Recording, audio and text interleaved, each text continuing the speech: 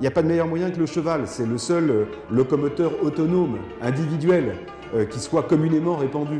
Donc les chevaux, bah, il en faut pour tirer les paniers à salade de la Sûreté Générale, il en faut euh, bah, pour tirer les pompes des voitures de pompiers, hein. il y a des écuries dans chaque caserne de pompiers à Paris.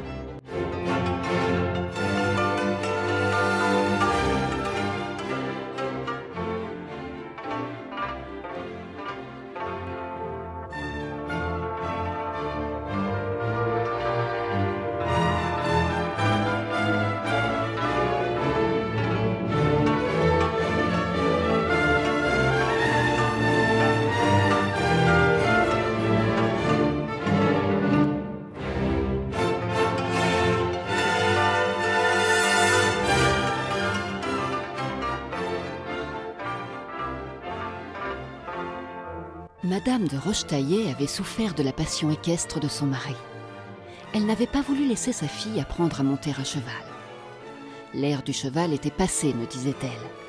Dans 50 ans, il n'y aurait plus un cheval dans les rues de Paris et on n'élèverait les poulains que pour la boucherie.